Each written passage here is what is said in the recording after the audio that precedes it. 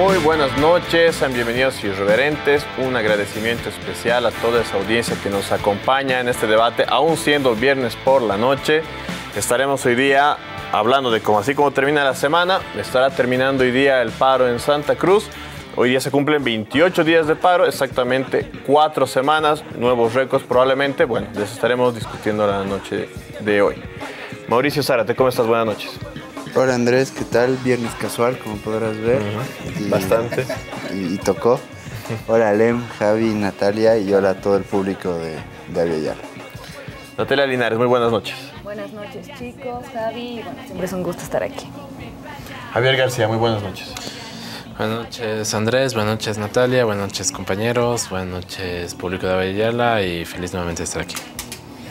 Alem Kisber, muy buenas noches. ¿Cómo estás compañero Andrés, compañero Javier, ¿cómo está? Natalia, ¿cómo estás? Mauricio, gracias por seguirnos en Avia Yala. Muy buenas noches, público. Bien, como les iba adelantando, hoy día hay novedades en todo este tremendo conflicto que se suscitó en Santa Cruz. Eh, ya parece que hay más certezas por parte de la Cámara de Diputados, en concreto de las palabras del presidente de la Cámara de Diputados, Jejes Mercado, que ya dio ciertas garantías de que va a haber una ley que va a dar más certezas en torno a la fecha del censo, que se queda como el 2024, porque él afirma que simplemente se respetará el contenido del decreto supremo del presidente, pero será subido a rango de ley y dando las certezas de que los escaños como los recursos estarán para antes de las elecciones del 2025. Asimismo, el día de hoy, Vicente Cuellas, rector de la Universidad Gabriel René Moreno, arribó a La Paz para hablar con distintas autoridades de la Cámara de Diputados, entre ellas al presidente de la Comisión de Constitución, y expresó de que nota una buena disposición para solucionar este problema inmediatamente, pero que también existen los procedimientos. Entonces parece que se están llegando a consensos, parece que se están llegando a soluciones, pero asimismo, y casi lo olvido, también estaba el presidente de la Cámara de Diputados, estaba el presidente del Tribunal Supremo Electoral y estaba el ministro de Planificación, que quiere decir Ejecutivo, Legislativo y órgano electoral, juntos dando certezas de que se va a respetar la fecha, los escaños, los recursos de coparticipación, en fin, todo aquello. Entonces la pregunta era, ¿de qué la lanzó el presidente de la Cámara de Diputados? ¿Por qué seguimos en paro entonces? Vamos con la nota, por favor que los datos oficiales de población emitidos para la distribución de los recursos de coparticipación a realizarse en el mes de septiembre de la gestión 2024 son suficientes para que el Tribunal Supremo Electoral inicie el trabajo de distribución de escaños. En que a partir de esos resultados que emite el Instituto Nacional de Estadística, el Tribunal Supremo Electoral empezará a trabajar para poder encaminar los siguientes procesos, procesos electorales.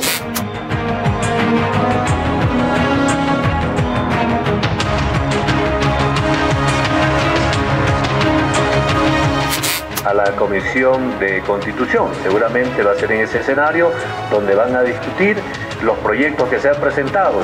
Yo solamente quiero hacerles conocer sobre estos puentes que hemos logrado este, conseguir para buscar el diálogo. Pero lo más importante que nuestra Cámara de Diputados quiere ratificar que los resultados para la distribución de recursos estarán disponibles en septiembre del año 2024. Recordar que el anteproyecto que presentó el Movimiento al Socialismo será el primero en ser analizado por la Comisión de Constitución de Diputados y se revisará también los otros que presentó la oposición que demanda censo para el 2023. Mm, se ha hablado sobre tres propuestas normativas que han sido puestas a conocimiento de la Cámara de Diputados.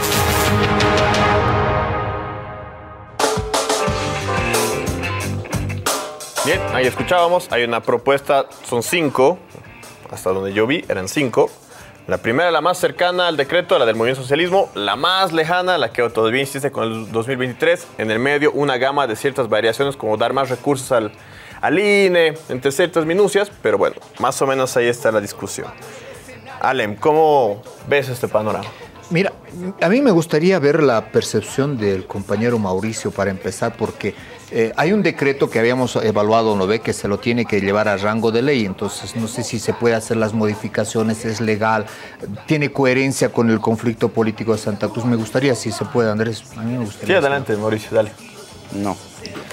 Eh, um, sí, claro. Eh, bueno, como les decía, el artículo 298, no estoy casi seguro de la Constitución, perdón, establece eh, que es el nivel central. En- dentro del nivel central está las, obviamente la Asamblea Legislativa, el Poder Legislativo. Dentro de las atribuciones del Poder Legislativo, obviamente está la de eh, promulgar, eh, pro- promulgar leyes, ¿no? Eh, bueno, sancionar posteriormente leyes. ¿Cuál es el punto?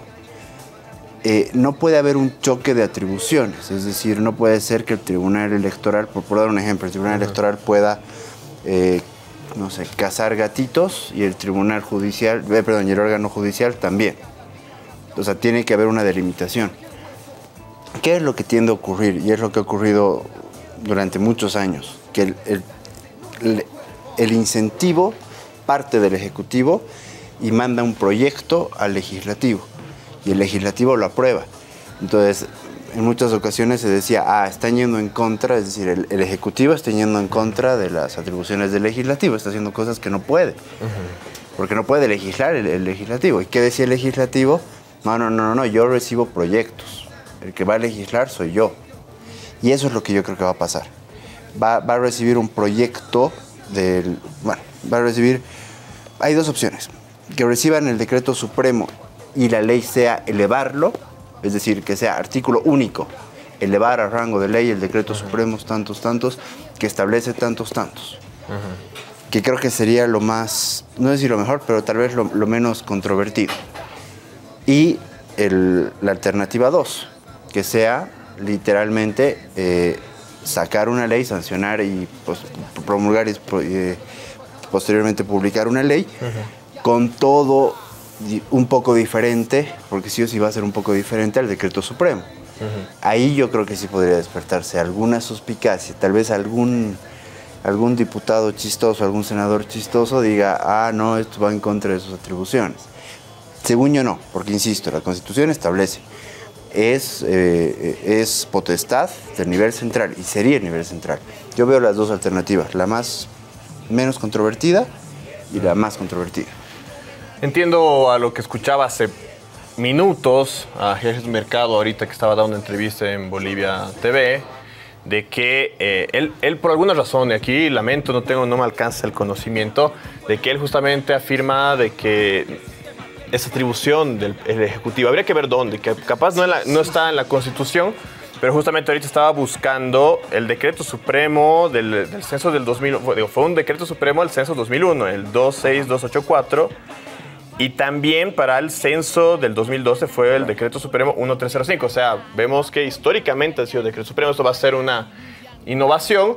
Pero bueno, entiendo que por las circunstancias, además, creo que se va a añadir, Jorge Mercado men- mencionaba que se va a añadir el hecho de los escaños de la garantía, porque sí definir los escaños Sí. es atribución de la Asamblea Eso Legislativa, digamos, ¿no?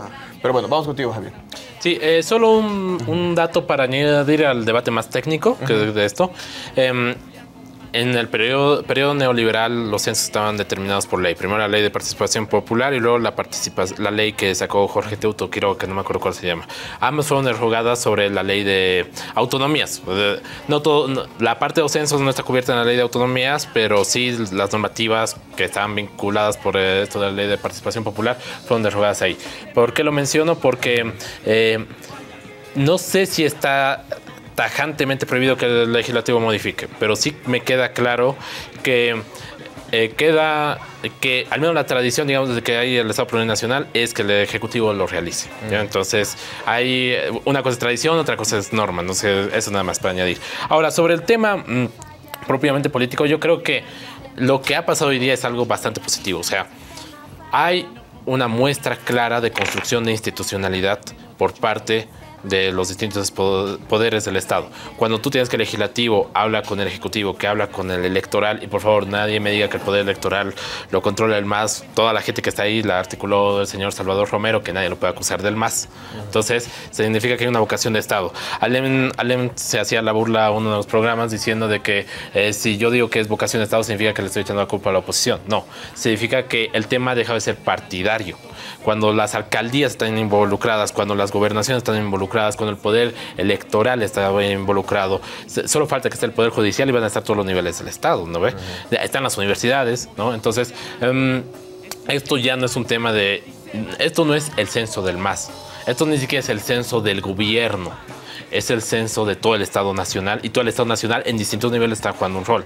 Desde asegurar la distribución de escaños, desde asegurar la redistribución de recursos, desde asegurar em, la participación en la cartografía y, que, y en la realización del precenso por parte de las alcaldías y las gobernaciones, desde la evaluación técnica realizada por las universidades. Esto es inst- institucionalidad en la práctica. Yo creo que si excluimos el caso de la, la reivindicación marítima durante la tercera gestión del presidente Evo Morales, no, no podemos encontrar recientemente otro caso de tal nivel de coordinación institucional. Y es bastante positivo que sean estos escenarios. Eh, hay que agradecerle a Calvo que en su insistencia por quemar el país ayudó a que todo el, todos los niveles del Estado ayud- empiecen a coordinar y hagan que esto vaya a salir muy bien. Ahora sí. Sí, me pareció interesante la lectura de Javier, no lo había visto de ese lado, pero de alguna forma sí, ¿no? Ha impulsado a que todos los poderes puedan estar centrados y va a depender del mecanismo de trabajo, disposición personal de los sujetos en cuestión, vayan a trabajar esto y creo que también coincido con la idea de que se rompe el interés partidario, que obviamente hay, ¿no? Pero aparentemente ya no está en el imaginario colectivo.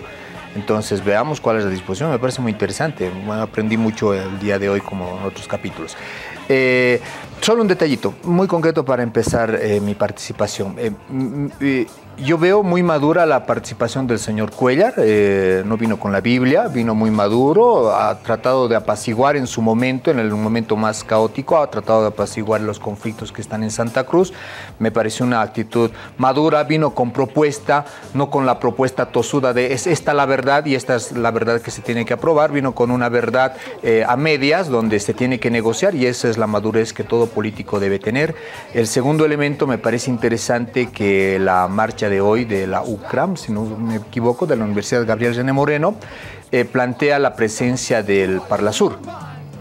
Parlamento del Sur, ¿no? que es del Mercosur, ¿verdad? Entonces, no sé si, eh, no sé si está bien pensado o no está bien, o es muy hormonal.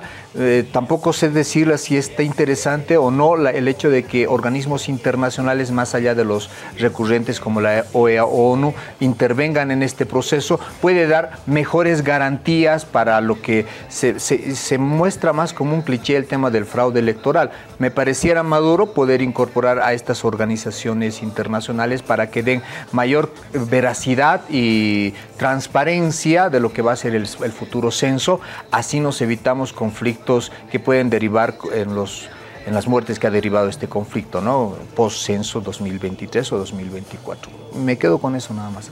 Natalia, aquí Alem decía lo partidario, un poco coincidiendo con Javier, lo partidario quedó de lado. ¿Tú lo ves de ese mismo modo? Sí, yo igual lo, creo- lo, lo- lo veo de la misma manera, ¿no? O sea, yo creo que Cuellar ha optado más o menos por un retroceso estratégico, ¿no? O sea, la cosa en Santa Cruz estaba sumamente violenta, ya no, ya no tenías una dirección clara, ¿no? O sea, tienes la actitud infantil de Camacho de seguir sosteniendo el paro y enarbolar las emociones ahí y Cuellar vio que esto estaba realmente complicado. O sea, estamos viendo yo creo que por primera vez en mucho, mucho tiempo a la Gabriel tomar una actitud política y participativa dentro de la política nacional, ¿no? Por lo general siempre vemos a la OMS o a la San Simón participar de este tipo de encuentros o tener algún tipo de pronunciamiento y la Gabriel recién está empezando a tomar una actitud política mucho más activa. Entonces ahí yo creo que Cuellar ha, ha pesado un poco la situación, se ha dado cuenta que no era estratégico seguir manteniendo eh, alguna actitud confrontativa, entonces ahí, ahí decide como que retroceder y decir, bueno, o sea, aquí está pesando otra cosa, está pesando el censo, está pesando eh, la pacificación del país, por si queremos ponerlo así, y viene aquí a La Paz por mano propia negociar, lo que hablábamos un poquito ayer, ¿no? O sea, hay una fractura del comité interinstitucional. y estamos viendo que los cívicos pueden prescindir de Cuellar y Cuellar también puede prescindir de los cívicos. Que, que hasta, hasta hace dos semanas no era tan así. A- a- algo ha pasado en el medio que creo que lleva a tomar ese tipo de decisiones. Por lo tanto, me parece igual súper interesante la posición que está empezando a tomar la Gabriel como actor político dentro de las universidades públicas del país, ¿no? Porque siempre veíamos más que todas las universidades privadas en Santa Cruz y ahora estamos viendo que incluso en esta nueva reconfiguración de Santa Cruz, eh, la Gabriel va, va a dar mucho por hablar. Al parecer los tres tienen cierto consenso de que, bueno, los partidarios un poco de lado, estamos en, Vámonos a casa. estamos en Cumbaya, amor, pero nos hubiera sido si el Mauricio no hubiera metido un poco de picante al asunto, diciendo de que tal vez en las discusiones, todavía que son el lunes empiezan, mal, sí, mal, no entiendo, puede que hayan fricciones. Yo no sé, yo tengo ahí mis dudas de que lo partidario está tan de fuera y además, indiscutiblemente creo que eso cambia o modifica las correlaciones de fuerza entre los partidos políticos. Pero bueno, no sé, ¿cuál es tu análisis, Mauricio? A partir de lo que has escuchado. Mira, quiero, quiero. Voy, voy a meter picantito, pero lo voy a hacer la siguiente intervención de manera más tajante porque tengo que revisar una cosa. Eh, está aquí. A ti te lo adelanto. Eh, pero hay algo, hay algo importante. Yo creo que se necesita voluntad y madurez política para solucionar esto. El gobierno ha demostrado, yo creo que ha demostrado cierta voluntad política a lo largo del conflicto, pero no tanto madurez, porque, co- como lo dije alguna vez, sí, queremos dialogar, pero ustedes son malos, tontos y etcétera, ¿no? Que, que yo, yo creo que ir muy lejos del Castillo lo terminaron desautorizando, más o menos porque ese fue su discurso. En cambio, desde el Comité Interinstitucional no vi madurez política. No, ahí, ahí sí que yo no vi hasta Vicente Cuellar. Es decir, hasta que, que, que- escuché a Vicente Cuellar decir que tal vez el paro habría que- que ver si es que está bien, si es que no está bien. Y, y ahí no sé si estoy metiendo algo de picantito, pero ojo que tal cuidado este paro, el, el- el estratega de Creemos o el estratega del Comité Cívico haya dicho este paro es para meter a Calvo, ver si nos conviene Calvo, nos conviene Camacho como candidato al 2025. Obviamente estoy, estoy y cuidado les haya salido muy mal al punto que yo ya he visto encuestas donde preguntan a quién prefieres de candidato y está Vicente Cuellar. O sea, hablo de encuestas de Twitter, ¿no? Que no tienen mucha seriedad, pero de todos modos, yo creo que quién, cuántos paseños, cuántos potosinos conocíamos a Vicente Cuellar antes de este conflicto. ¿Cuántos tenían una mala imagen de Vicente Cuellar? ¿Cuántos ahora tienen una mejor imagen de Vicente Cuellar? Ojo con el posicionamiento. Tal vez le salió muy mal al asesor de, de Cremos y en vez de elevar a Calvo o sustituir a Camacho o elevar a Camacho y mostrarlo como les terminó saliendo este tercer, tercero en discordia, sin querer queriendo, ¿no? Y, solo para terminar, yo creo que fue muy, muy, muy positivo que el presidente del, tribunal, el vocal Hassan Teufel haya dicho, haya dicho el tema de los plazos y lo haya hecho ayer, porque ayer, si no me equivoco, ya habló de plazos Hassan Teufel y lo hizo medio que sin, sin coordinar con el gobierno, evidentemente, porque lo que dijo, entre comillas, no le conviene a todos los del gobierno. Pero hay que tomar en cuenta que los vocales departamentales no se han cambiado desde hace harto tiempo. Y esos son los que tienen acusaciones muy serias de ser parte del MAS, ¿no? Ojo con eso. Justamente en las últimas declaraciones de Fernando Camacho, él se refirió a que espera la ley para el lunes, ¿no? Espera la ley para el lunes y que el informe de Cuellar, que está ahorita en La Paz, pues definirá las acciones. No sé si eso es que se han roto o están coordinando o es estratégico mandar a Cuellar porque es esta imagen más eh, moderada, entre comillas. Pero bueno, eh, por lo menos en lo que es Camacho, sabemos que todavía no, no quiere soltar la, la- la máscara del bravucón, ¿no? A lo que parece. Javier, por favor. Yo creo que solo hay dos escenarios. O sea, comparto que hay un aspecto partidario, Andrés. Hay un aspecto bastante partidario. Pero a eso puede interpretarse en dos escenarios distintos, ¿ya? El escenario uno es asumir que hay una ruptura implícita, quizás educada, pero ruptura al final entre Cuellar y por lo tanto la universidad con el comité cívico. En este escenario, todo lo que ha hasta ahora ha sido por cuenta propia. La declaración sobre repensar el paro, el venir aquí, la reunión con Arias, todo eso ha sido cuenta, digamos, de la universidad y un grupo que lo apoye. Y por otro lado, los cívicos están diciendo eh, eh, Santa Croacia o muerte, ¿no? O sea, están en esa posición. Entonces, en, si es el escenario, lo que vamos a ver el lunes es que creemos va a ser un juego de niños en el Parlamento, van a reclamar federalismo en medio del debate del censo y van a hacer otras chiquilladas de ese estilo. ¿ya? Entonces, una actitud positiva. El escenario 2 sería mucho más interesante, pero también mucho más peligroso para Camacho. El escenario 2 es de que Camacho está de acuerdo indirectamente por, con estas negociaciones, pero ha perdido el control de la Unión Juvenil Cruceñista y por lo tanto no puede parar la violencia aunque él quiera. Ese escenario significa que lo que ha pasado en el saqueo del Plan 3000 no lo ordenó Camacho, que sino que lo organizaron esa banda de delincuentes eh, paramilitares ellos solitos. Si eso es, si eso es así, eh, para Camacho es mucho más grave, porque significa que ha perdido su grupo de acción en la calle. Así que no sé qué escenario es peor para Camacho. Perder a uno de tus principales aliados políticos o, o perder a tu grupo operativo de calle. En cualquiera de los dos casos, Camacho está con una gran complicación. Porque si ese es el segundo caso, eh, mañana, el lunes vamos a ver una actitud positiva de los de Creemos, pero vamos a ver alguna guarrada en las calles de Santa Cruz. Y eso es de bastante preocupación. Eh, y solo para cerrar, yo creo que sin duda, y como decía muy bien Natalia, no hay que eh, olvidar que esto es una retirada estratégica. Cuellar no está ganando con eso. No ha venido a decir, ah, es que va a salir censo 2023. No, no, no va a decir eso.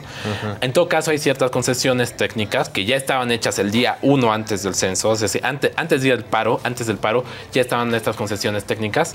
Y todo lo que está discutiendo ahora es de orden más eh, organizativo, administrativo, que realmente político o temporal. Entonces, en ese sentido, mm, Cuellar ha hecho lo correcto, lo decente, decir, mi movilización no funcionó, vengo a negociar mis términos para que esto salga adelante y poder conseguir ciertas concesiones. Pero no es para nada una victoria en el sentido estricto de la palabra. Eh, dicho eso, es mejor perder con dignidad, que lo que está haciendo Cuellar, que perder em, embarrado como está haciendo Camacho. Pero ahí justamente, ¿será que la población lo va a leer así? Porque yo ya veo a Camacho cuando se apruebe la ley saliendo a celebrar y, la farra y todo. Y si hemos ganado, esto es de Santa Cruz. Yo creo que esa es la estrategia, celebrar como si fuese una victoria, un retroceso estratégico. ¿Tú cómo ves, Ale? ¿La población va a decir, sí, esto es del Camacho o va a recordar que esto era porque era una fecha, o 2023 o 2024? Eh, mira, eh, es, cuestión de, ver la, reacción de la población. El concepto masa y el concepto eh, polaridades lo, hemos debatido, lo hemos, lo, hemos, lo hemos propuesto. De verdad, vean, irreverentes opositores. Eh, ningún grado de polaridades extremas que te lleven a la violencia o a generar bloqueos de gran magnitud como se ha hecho en este, en este momento y en otros momentos de la historia de Bolivia han generado los líderes que van a comandar la, la sociedad boliviana como candidatos a presidente. Lo ha demostrado el señor Camacho y el señor Calvo como dos polos radicales en discurso y en acción eh, se han puesto como, polar, se han mostrado como en un evento de polarización extrema. Y a función de eso surge un tercer elemento, señor Cuellar, con un discurso más, más apacible, más conciliador, y se vuelve un candidato mediático, por lo menos en las encuestas que Mauricio nos estaba reconociendo a partir de Twitter. Entonces, esos son los candidatos que se está buscando. Y a partir de ello, traspolemos este mismo análisis a las masas sociales, a nosotros los que hacemos dirigencia o estamos en las calles por uno u otro interés, donde nos hemos polarizado en el censo queriendo mostrarnos como altos líderes sindicales de algunos movimientos sociales emergentes, ya se descartan porque son incitadores de la violencia. Por lo menos eso se refleja en, en la acción social de nosotros los votantes. Eso me parece muy interesante. En pocas palabras, todo lo radical, sea dirigencial, o sea de eh, partidarias, un poquito llamémosle de élite, eh, quedan descartados cuando se vuelven radicalmente eh, polares, violentos. Eso está dicho.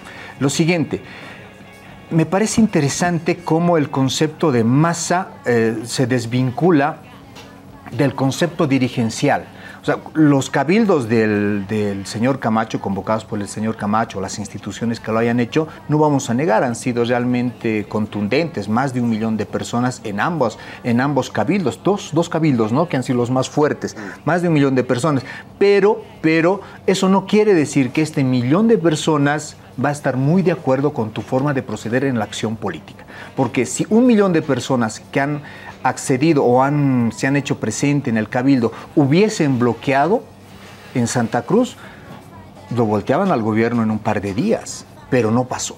Entonces, ese tipo de análisis se los tiene que hacer a nivel partido para ver cuáles son las nuevas estrategias y propuestas políticas que se tiene que generar a la, a la, sociedad boliviana. Solo por último, para no alargarme en concreto, creo que el debate sigue siendo qué son los partidos qué es un partido y desde dónde un partido se constituye como una alternativa a ese 45% opositor al movimiento al socialismo y qué es el nuevo partido del MAS que todavía está en debate, se ha sacado un, par, un librito de reciente data en estos últimos dos días, cuál es el partido del movimiento al socialismo que todavía tiene que convencer a este 55% para que siga votando en el 2025. Natalia, veo que tienes un montón de apuntes. Solo te sumo a la misma pregunta, Caleb. ¿Tú crees que la población se va a dejar llevar por la celebración de Santa Cruz o vas a recordar que esto era por el 2023-2024? Estás desordenando. Empieza por donde gustes, pero... Dale, pero responde. Sí. Eh, pero, eh, ver, ahí va. A ver, hay que entender que lo que hemos visto las últimas semanas es, o sea, es como tanto Calvo como Camacho como Cuellar, que son los tres líderes más visibles de Santa Cruz en este preciso momento, han actuado mediante la presión, ¿no? Cuellar ha optado por tener una eh, posición mucho más ligera, mucho más digerible para la población, siempre decir estamos yendo a dialogar, siempre ha mantenido lo, lo, del 23 todo lo que ha podido y yo creo que la gente va a valorar eso de alguna forma. El policía bueno. Es el policía bueno, es, es el buen cuate que te dice ya, hermano, no molestes más. Después, eh, Camacho, Camacho ha actuado desde el primer día, así por ponerle una fecha, desde el 30 de septiembre que se da el cabildo, uh -huh. como un cívico más. Él no, he, no ha actuado como el gobernador de Santa Cruz, él no ha deliberado nada, él no proponía nada, él actuaba como el expresidente cívico, incluso en alguna declaración lo dijo, yo estoy aquí como cívico. Y ahí la figura que más estaba posicionando era la de Calvo. Sin embargo, hemos visto que eh, sus acciones también han logrado enfurecer a la población. O sea, la gente más radical, la que más ganas tenía de, de, salir a la calle, usaba el discurso de Camacho y de Calvo como su bandera.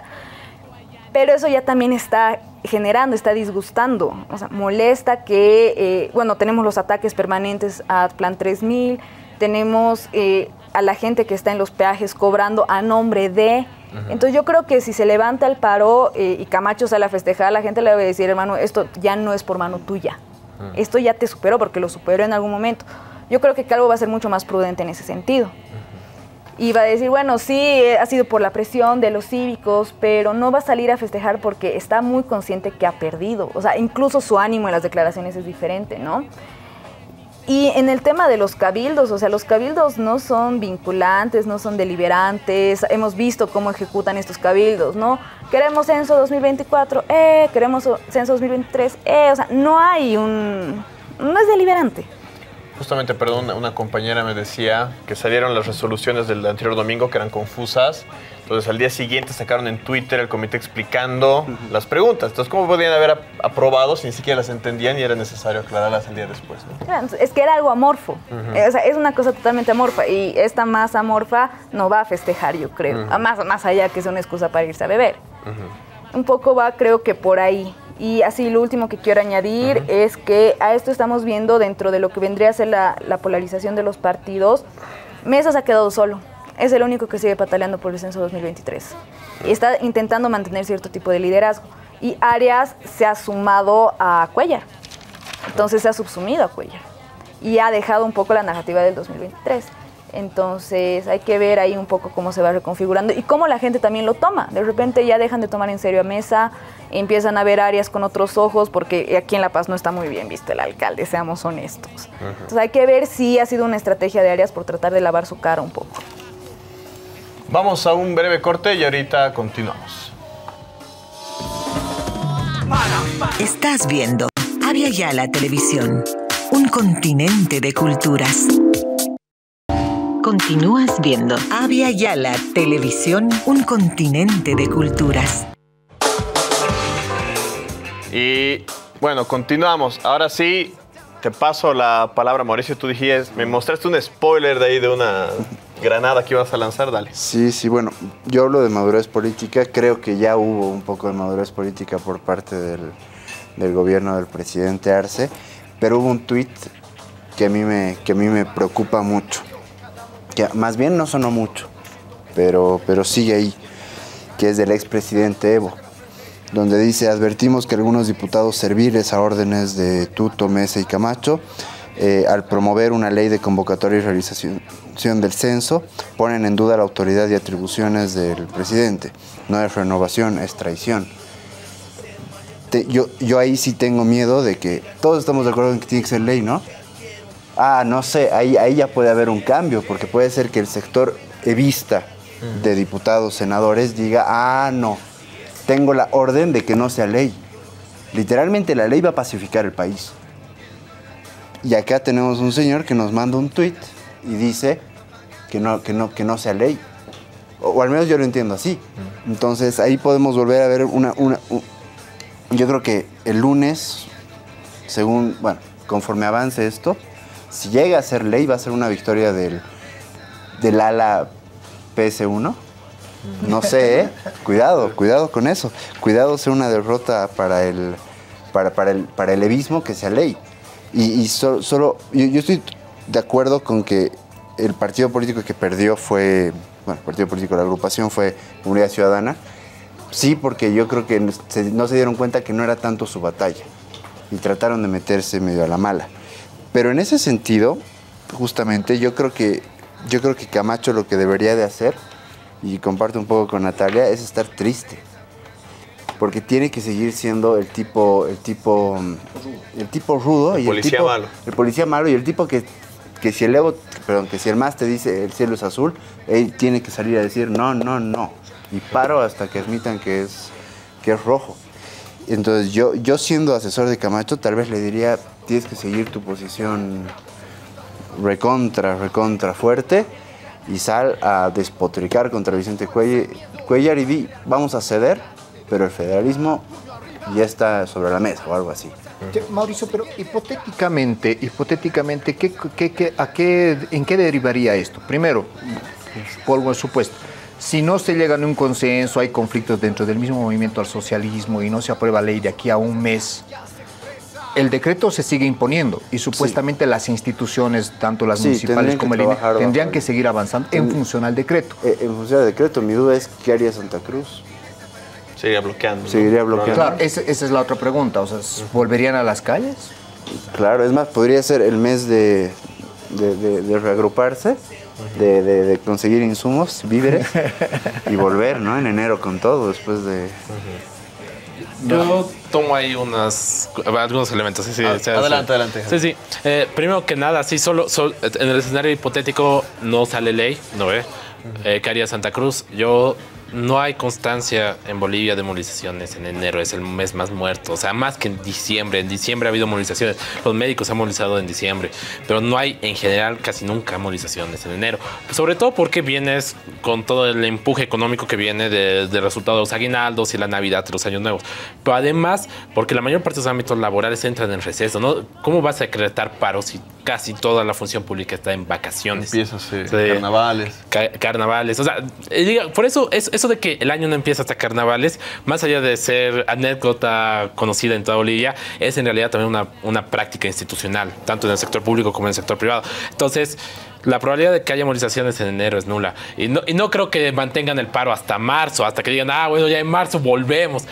Ya es otra cosa. ya Es otra cosa. Mm, La, si, si que, o radicalizan en estas semanas que les quedan o suspenden, ya sea por las buenas o, o de manera patética, como parece que va a pasar. Ahora, te voy a robar unos segundos, te pedía Adelante, adelante, eh. Andrés. Em, mañana va a haber una presentación en el Nairaguiri de un documental hecho por la Fundación Intipaxi sobre Sencata. Invito a todos los televidentes que estén localizados en La Paz o en el Alto o en el área metropolitana de La Paz que vayan a ver el documental de, eh, de Sencata realizado por la Fundación Intipaxi en el Nairaguiri a las 7 de la noche.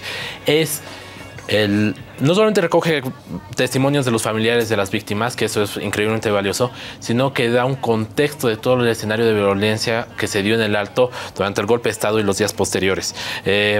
Se- la Fundación Intipaxi no es una fundación asociada al MAS, ni es partidaria, y de hecho hay varias críticas al partido en hecho documental. Y creo que es muy importante para tener una visión desde las víctimas de la situación de, de Sencata.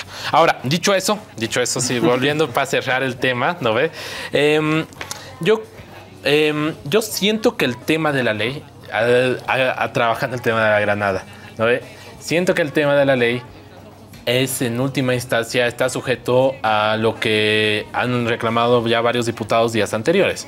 Si la ley es una subida a rango de ley del decreto supremo, yo creo que no habría ningún grado de descenso en el MAS. Todo el MAS va a estar de acuerdo en que se suba la ley a rango de decreto supremo. La oposición va a estar de acuerdo, es otro punto, ¿ya? Ya, pero en realidad eh, esta supuesta división no existe. O sea, la división puede haber entre el MAS y la oposición sobre si se modifica el decreto supremo. Pero mientras eh, la ley cumpla con lo que establece el decreto supremo, sobre todo en las líneas fundamentales que son tiempos, presupuestos, reglamentos, yo creo que no hay ninguna brecha que se vaya a encontrar dentro de la bancada del MAS.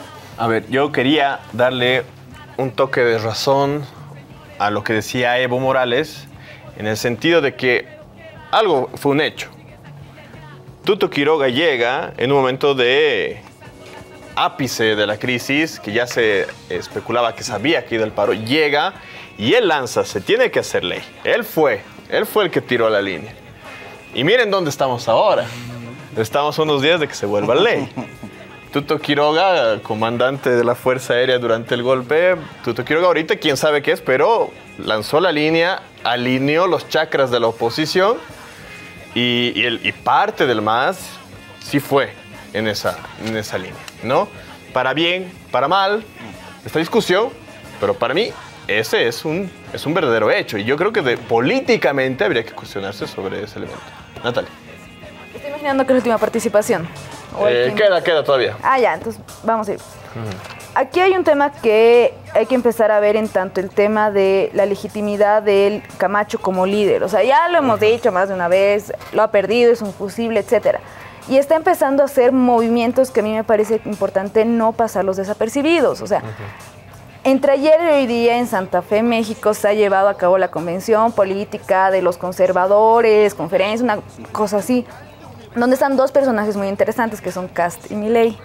Entonces me parece que Camacho ha ido, porque ni siquiera Camacho está dentro de los conferencistas, creo, hasta parece que se ha colado, lo han de invitar, pero eh, está yendo a buscar como que cierto tipo de legitimidad de estos grupos altamente fascistas, altamente conservadores, porque se ha dado cuenta que ha perdido peso nacional seguramente yendo allá a buscar cierto tipo de legitimidad y de, deci- de, de- de apoyo, o tomarse una fotito con mi ley, de repente le devuelve algún tipo de eh, credibilidad dentro de los círculos conservadores aquí en Bolivia.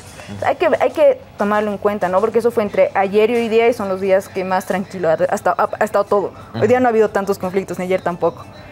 De repente cuando Camacho vuelva se reactiva todo.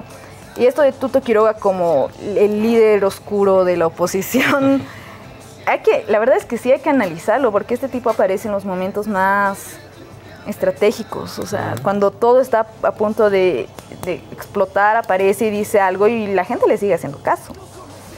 Y yo creo que de la granada de que da Mauricio, el único berrinche que puede haber de algún lado es de Camacho si es que se modifica alguna coma del proyecto que ellos mandaron.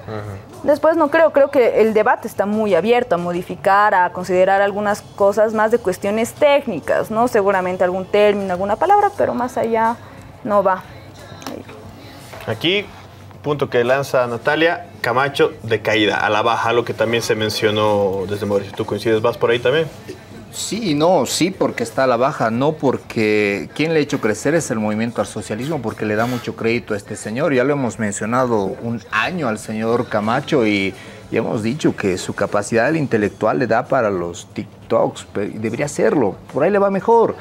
O sea, Señores, eh, tenemos que entender la realidad boliviana de diferentes ángulos. No es el líder y las masas, no es el líder y el cabildo, no es el líder y el partido. Cuando tienes el líder y el partido, tienes una comunidad ciudadana que no emerge, porque no los deja emerger a sus...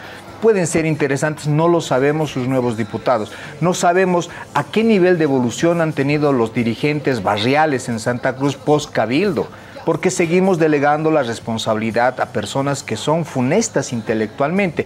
Le guste o no a las personas que escuchen el programa y a este, y a este servidor, la intelectualidad es muy importante pero reconociendo que la intelectualidad no solo es un tema de academia, la intelectualidad es un tema sindical, es un tema político, es un tema partidario, y esto implica sumergirte en el análisis social y en el análisis teórico. Ya lo hemos mencionado, muchos de los cuadros políticos del mismo movimiento al socialismo que han sido muy reconocidos o de otros partidos como el PS1 vienen de formaciones sindicales, pero a través de una gran formación teórica como cuadros políticos. Entonces, tenemos que sumergirnos y tenemos que elegir nosotros los grandes eh, votadores de nuestros representantes a gente capaz. El señor Arias, es lamentable que sea nuestro alcalde. La Paz está más decadente y está más decadente porque los últimos 20 años tenemos los mismos funcionarios públicos y lo odiamos al más por la decadencia que nos ha dejado como país. Pero no odiamos al señor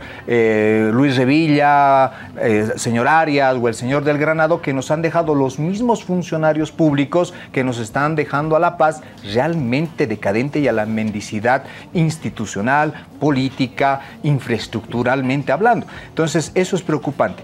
Eh, entonces, el señor Camacho, yo no sé por qué lo mencionamos, podemos hablar de otras cosas más interesantes. El otro elemento me parece importante los estrategas, ya lo habíamos mencionado, o ya lo había mencionado en algún momento. Hay tres grandes estrategas. Señor Walter Chávez es uno, el señor Quintana, Juan Ramón de la Quintana, ya me he olvidado su nombre, qué vergüenza, y el señor Tuto Quiroga. Son tres estrategas muy interesantes del siglo XXI. Los tres son muy predecibles, demasiado predecibles, pero no dejan de ser interesantes. Pero al ser predecibles e interesantes, eh, hay una... ¿Qué dice Gloria Trevi? Brincan, brincan los borregos, ¿verdad? Y realmente brincan, brincan los borregos porque si no hubiera venido el señor Tuto Quiroga, ¿qué hubiera sido de la existencia de los diputados? Les ha dado un poquito de trabajo, laboralmente hablando, dentro del hemiciclo. La pregunta siempre es, ¿estarán a la talla? ¿Estarán a la talla para satisfacer nuestras necesidades o van a venir iluminados y decir, esta es la nueva ley que les planteamos, sin entender todo lo que está pasando en Bolivia? Mauricio. Sí. Yo, honestamente creo que si ah, llega a haber un sabotaje va a ser desde alguno de los dos extremos, desde el levismo o desde el camachismo. Ah, sobre la ley, ¿no? Yo espero que no haya ningún sabotaje. Que ahorita son los dos polos más radicales. Claro, que, son, llevan al yo creo que son los, dos, los dos polos más radicales. Siendo muy mal pensado, tal vez al levismo le conviene alargar un poco la crisis porque desgastarse, no lo sé, pero es algo que hay que considerar. Eh, no, lo, no, lo, voy a dejar de, repetir. Yo antes de Tuto dije que tenía que ser un proyecto de ley. Tú trabajas con Tuto, ¿eh? ¿eh? O, Tuto ver programa. No, tal vez. O Tuto ver programa. me, quedo con, me, quedo con, con tres posiciones interesantes. No, Arias no. Eh, yo creo que surgen líderes, yo creo que surgen líderes sin querer yo creo que Vicente Cuellar es un líder que surgió. Yo creo que Jerjes Mercado puede ser un líder que esté surgiendo. ojo con Jerjes Mercado, que yo dije que, me parece interesante, aunque no comparto muchas cosas. Y tal vez hay un pequeño cambio en el ala radical. Sale Camacho, entra, entra Calvo, ¿no? No, no, no me parecería una locura. Pero creo que ya, ya hay un posicionamiento electoral de caras al 2025 y ojo con eso. Yo creo que si estamos hablando ya de alas, polos, de cómo este escenario nos alumbra quizás las composiciones en la Asamblea Legislativa, si hay tensiones en el MAS, no veo la razón de no comentarlo, pero también, y no hay que olvidarlo, creemos también tiene una seria división, ¿no? Creemos también tiene un ala de Johnny Fernández, que hacen, le hacen salir canas verdes a Camacho y tiene el ala camachista. Comunidad Ciudadana, yo hace mucho que no sé muy bien, pero te, me acuerdo que el año pasado también tuvo una división bastante fuerte, ¿no? Incluso de acusaciones de que son racistas unos, otros no sé qué. No sé, ahora parece que están más calladitos, más tranquilitos. Barrientos volvió a subir, tal vez es el sana sana, no lo sé. Pero es muy interesante la composición parlamentaria de, porque hay muchas subdivisiones. Tres partidos vemos, pero cuántas fuerzas no sabemos, ¿no? Dale, Natalia, tú, adelante. Creo que ya vamos para las últimas intervenciones. Ahora sí, Sí, sí. Eh, cuando empezó todo este tema del censo, hablábamos mucho de las banderas políticas que son capaces de impulsar eh, los partidos o las agrupaciones, ¿no? sobre todo la derecha. En su momento fue el censo 2023 la bandera política de la derecha. Y es lo que han venido impulsando y, y- y ya tenías cánticos y poleras y con eso tú enarbolabas a la gente y la sacabas a la calle, ¿no? Pero hoy ya no existe esa bandera. Ya no existe la bandera del censo 2023. Y estamos viendo que todo ha tenido que pasar por un tema quizás mucho más técnico, eh, tema de consensos, empezar a negociar algunas cosas. Y Camacho ya no tiene de qué quejarse. Calvo tampoco. Cuellar es, un, es, es un- una incógnita que tenemos ahí. Pero ¿qué es lo que va a movilizar ahora la derecha? O sea, a mí me da mucha curiosidad ver qué es, ahora de qué macanas se van a agarrar, porque cada vez son, es más ridículo. ¿Federalismo? ¿Crees que sería viable o no? Todavía creo que no. Hemos visto algunas figuras del federalismo, pero es un discurso ya que se viene jalando hace 10 años más o menos y todavía no está terminando de cuajar. De repente si hay, la única forma en la que se podría seguir fomentando lo del federalismo es si hay más violencia, mucha más violencia. Y no sé cuánto están dispuestos a jalar por ese lado. Camacho sí, de entrada, pero, no, pero ya hemos visto que está medio solo, ¿no?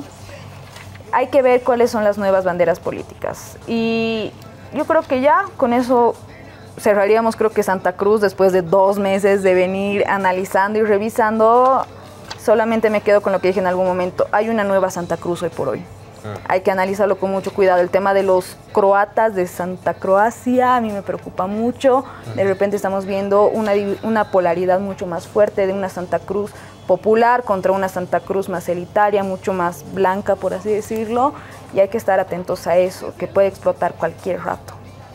Justamente algún momento, compromiso con la audiencia, estaremos hablando de federalismo, es un tema que está ahí en discusión, vale la pena analizarlo, pues yo justamente estaba leyendo la historia de la guerra federal, llamada federal entre comillas, entre La Paz y Chuquisaca, y era, es curioso ver lo que decían los de La Paz, los liberales de ese momento, porque ellos decían, La Paz da más recursos para todo Bolivia, aquí están todos los recursos y no recibimos nada, Tiene que, tenemos que tener un Estado federal. Prácticamente el mismo discurso de Santa Cruz, pero Santa Cruz prácticamente no existía en términos económicos todavía. Entonces, creo que analizar esos temas históricos siempre nos traen algunas luces pues, de lo que está pasando en el presente. Javier. Sí, em, ya, ya digamos en esta ronda final yo quisiera añadir algunas cosas. Eh, primero que nada, comparto con Natalia de que la bandera del censo ya está requete quemada, ya ahorita nadie se moviliza por eso. Calvo trató de hacer el salto al federalismo espiritual y bueno, se quedó en espiritual todavía. cósmico antes, ¿no? astral, federalismo astral, federalismo astral. Sí, entonces, sí, se quedó, que se quedó en federalismo astral. Eh, veremos si algún rato pasa a ser un federalismo ya más en serio y si toca lo debatimos aquí. Y en ese sentido, comparto también con Natalia de que lo- es bastante preocupante todo este tema de, de esto de Santa Croacia y de los eh, croatucambas, como lo dicen así, bueno, sí que está que es bien peligroso porque es eh, el Santa Cruz de los Foglianini, considerándose un Santa Cruz separado del resto del país, incluyendo del propio Santa Cruz real, es decir, del Santa Cruz de Yapacaní, el Santa Cruz profundo, el Santa Cruz de los Valles Cruceños, el Santa Cruz de Yapacaní, el Santa Cruz del Plan 3000, el Santa Cruz de Montero, que es más de la mitad del departamento en términos poblacionales y el 90% de la geografía del propio Santa Cruz. Entonces ahí hay una polaridad que eh, no solamente cae en una polaridad política regional, sino en una polaridad racial, que eso es siempre muy peligroso. Em, y solo dos comentarios más. Eh, yo creo que eh, Alem, eh, que hay una observación que hizo Alem que yo quisiera matizar. Dice, un millón de personas en la calle sacaría cualquier gobierno. Bueno, dos millones de personas nos movilizamos aquí el 2009, yo era muy chango todavía, eh, por la defensa de la, capital, de la capitalidad. Eh, todas las personas que defendían el separatismo siguen libres. Lamentablemente no hay necesariamente correlación entre fuerza eh, en la calle y con, resultados políticos. Eso nada más. Repetimos la invitación para... Ah, sí, sí, ah, sí, sí, sí, sí. Es el sábado 7 de la, ta- 7 de la tarde en el Nairaguiri, que es en el barrio de Miraflores. Eh, se puede buscar, es documental, el documental Sencata de la Fundación Intipaxi. Eh, si entran al sitio web de Nairaguiri, está ahí disponible. Sí, mañana estamos recordando un año más de la masacre de Sencata del 2019 y justamente a propósito de eso me imagino ¿Qué es la proyección del documental. Hay que ir, hay que apoyar pues todas las producciones que se hacen en nuestro país y además con temas tan importantes. Con nosotros es hasta acá, nos vemos el lunes, muy buenas noches.